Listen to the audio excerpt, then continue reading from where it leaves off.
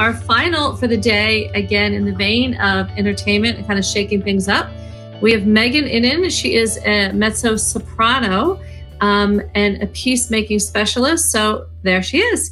So I turn over um, to, I will get out of the way. This is a virtual concert hall. So I'll put us over to you, Megan, and let you do your thing and entertain us and everyone else. When Megan is finished, please come back and we'll do the final wrap up after Megan. Sounds good. Thank you, Karen. Hi, as Karen mentioned, my name is Megan Ihnen. I am a professional mezzo soprano. I sing classical music and avant, avant-garde experimental music. I work with composers. I am also the incoming executive director of the Live Music Project, and there we are devoted to uh, information, better information to access arts experiences. And I highly encourage you to come over and check us out. We are at livemusicproject.org. I would love to interact with you there. So, as Karen also mentioned, I am a placemaking specialist, and I will talk about a little bit about that also during this time. So, there is a sector of research called creative placemaking, and it's one of the things that really lights me up. So, with that in mind, creative placemaking is a lot about is about reinforcing community identity through place.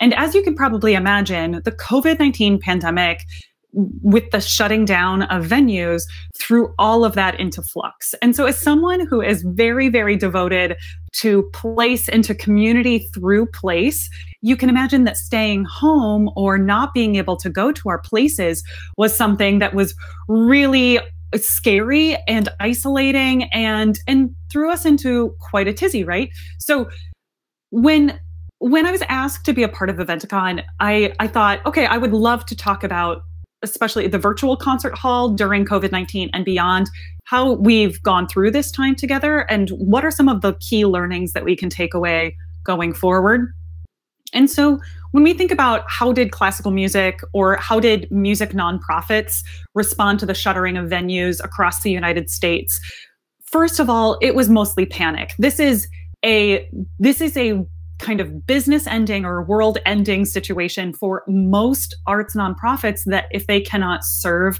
their community through the programs that they do in person, especially in the music world, this could mean the end of their their ability to operate, which is which is just devastating. And so I can imagine that most of you know artists in your lives, especially if you know musicians, that at the beginning of the pandemic, there was a lot of uncertainty and fear about their ability to continue in that art form. So, like I said, this at the beginning of this pandemic and shuttering of venues, what are we feeling? Panic. And then what are we feeling? I have to do something, right? and so, and so what do you see is is you see most of these classical music, new music, contemporary music, and and such organizations and ensembles turn to live streaming and broadcasting of their of their performances of their content. So when we're thinking about live streaming, we're thinking about using systems, software systems like OBS, Open Broadcasting, I think is what it's called, OBS and Ecamm Live, and various other ones to stream their content to platforms like YouTube, Facebook, Twitch, etc. And you see a bunch of music nonprofits or arts organizations scrambling to suddenly understand how do I bring my content to these platforms in a live stream way. And you're starting to realize that all of a sudden we've got, we're very, very good at being able to get hundreds of people on stage playing together, making these beautiful sounds. And yet, the idea of having to make that happen over the internet suddenly becomes very daunting. And so, so we're thinking about what are these systems? What do people use? How do we make sure that the sound comes across in a way that is is attractive, compelling, pleasing, because there's so much about that. We're having to upgrade our networks, right? We're having to upgrade our bandwidth for things like that, where organizations are not used to having to use that capacity for live streaming they're used to oh well we use our we use our internet capability for you know organizational email like suddenly you're hosting thousands of people watching. You are trying to uh, bring like high high resolution content through your your internet and this is may or may not be working the way that you thought it was going to. You have administrators who are attempting to learn learn concepts like cpu what's the availability is this working? How do i how do i set up the resolution from my live streaming system or what's on my computer or what's on my cameras to make sure that it's connecting and doing the YouTube resolution the way that I want it to? How do I make sure that I'm not running into buffering issues? This is kind of our, you know, our live streaming 101, right? Is making sure that your amazing, gorgeous, beautiful content isn't running into buffering or you're running into any sort of lag because that's not what your community wants to experience through what you're doing. So, speaking of that, you also have teachers and universities who are are experimenting with low latency options such as Jacktrip, SoundJack, JamKazam, because at the at the beginning of the pandemic, we're also trying to figure out how do we recreate the rehearsal experience or the per- live in-person performance experience. And while this works really well for us to have video conferences, the the very nuanced playing of things together, the simultaneity of having to play music together is very challenging in a latency atmosphere of the internet. So, experiencing some of these, using these software systems like Jacktrip, JamKazam helps teachers and students, helps ensemble members work together so that they don't have to be in the same place to be able to rehearse the very fine, nuanced work that they have to create together to get into a performance atmosphere.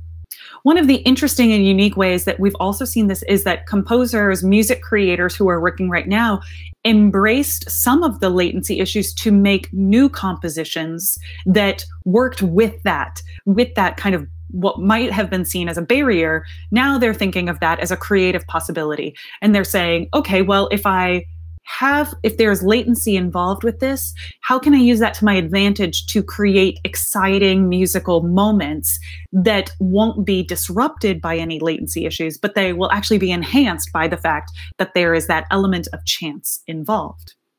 I wanted to point out that some uh, organizations and ensembles symphonies orchestras etc were using their live streaming, they're broadcasting to great effect before the pandemic, and they were served so well by investing in that technology early on. So I'm thinking of Detroit Symphony, Frankfurt Radio Symphony. I'm also thinking of Metropolitan Opera had invested early on in high quality video and audio recording and broadcasting capability so that they could use that. And they had gotten comfortable. They had staff that ran that for every single performance.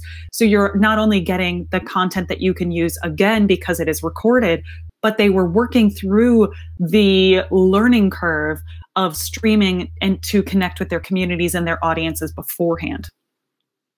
So, speaking of connecting with that, what are some of the key learnings from this intense exploration of virtual performances? Is exactly what I'm saying here is making sure that you have the best equipment and setup possible.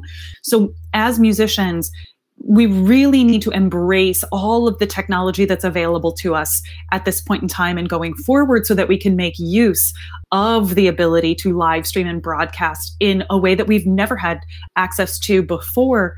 Things that have even in the last year, because of the pandemic, have pushed these capabilities along. While we had access to them before, it will only continue to become more democratized and more available.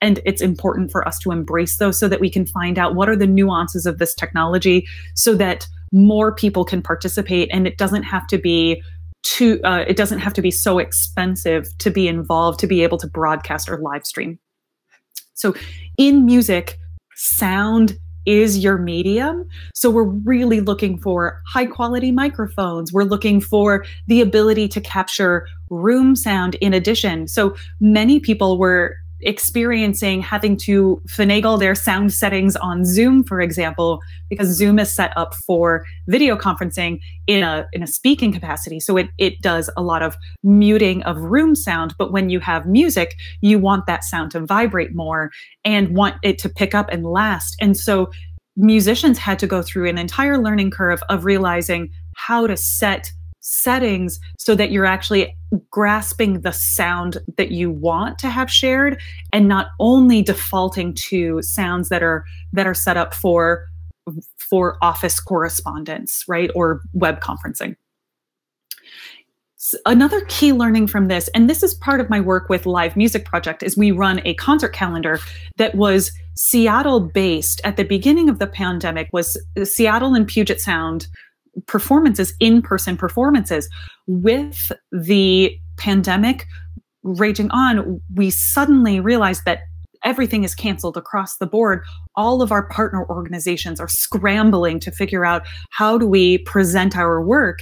And then we started to get this influx of live stream performances and we said well we need to adapt. We need to adapt our technology to make sure that we can still provide the service that we do to our community which is to connect them to information about the arts. So we offered all all anybody who was live streaming. So this is one of the beautiful things about you'll you'll find about our live music project concert calendar is when you come to our concert calendar you'll see live stream and broadcast performances that are happening all over the world right? Classical music and contemporary classical music live stream and broadcast performances happening all over the world at different times of the day that you can tune into and one of the things that we we started to hear from our partner organizations is am I suddenly in competition with the New York Phil, for example, someone who has not who is not in my immediate geographic region? And what we wanted to help them understand was no, you you have built a community and that community is still turning to you during this time, even when they're able to engage with content from much larger organizations or companies. They will still turn to you because of the special qualities that you present, the programming that you choose, the content that you're delivering, and the care with which you approach your community. I'd like for you to keep this in mind as you're thinking about these things. If I'm suddenly looking at a larger market because of the ability to have a virtual event, I want you to keep dialing back into what makes us special? What do people come to us for? How do I provide that in a virtual and digital environment? Keep thinking about those things as one of your key learnings. One of our other key learnings is educating audiences to have the best experience with you. We are very familiar with this in the arts and cultural landscape of welcoming people into our spaces. Here's where to park. Here's how to check your coat before you sit down. Here's where you go. The restrooms are this way. Feel free to check that out. And then here's like you get a program. You can learn more about the you can learn more about the performance. In the virtual environment, we don't have the ability to walk them through our space, eh, our physical space, but we have the ability to walk them through our virtual space in our digital space. Thinking about that, what is the what is the flow that your audience member experiences from the minute that they find out about the performance to registering for the event or buying a ticket? How do you make sure that they have the information that they want to interact with before they're interacting with the performance itself are they able to log in? Have you given them information about what's the best sound settings to experience your performance with? How will they know how to interact with other participants? Is there going to be a live chat during the performance? Does that increase their increase their participation or their increase their positive feelings about being involved with the performance then make sure that they know about that right? Do they want to do they want to leave feedback after the performance? Is there a way that they can show their applause in the virtual space? Encourage them to do so and make that feel like we're always looking for ways to make that feel like a more welcoming experience. So uh, one of the things that I want to remind you about for this is reminders, right? and making sure that they have a positive experience is because we're no longer traveling necessarily for the virtual concert experience, or during this time we have not been traveling to get to the virtual concert experience. Reminders are so, so important. You are by and large interacting with your listening audience through the same portal, their computer that they use for work, they use for catching up with other people, they use for a myriad of other things.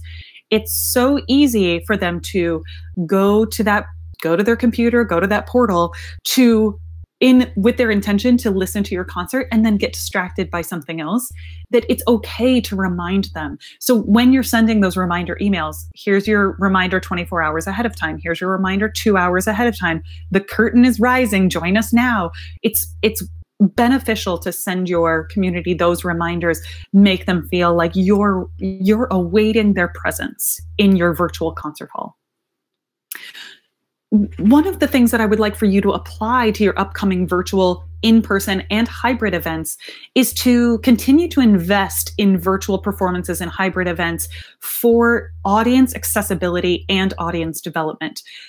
So much of what I hear in the classical music sector is, oh, thank God we can go back, right? Oh, thank God it's a return to normal, right? And that when I hear that, my heart falls a little bit because I I realize that we haven't quite made the realization that this is a way for us to connect with people that we've never been able to do before, which is thinking about audience accessibility. They may not be able to drive to your concert hall. They may have little children at home and and not be able to afford childcare to be able to make it to the performance, but you can continue to offer them that ability to engage with art in a way that fits into their lives more.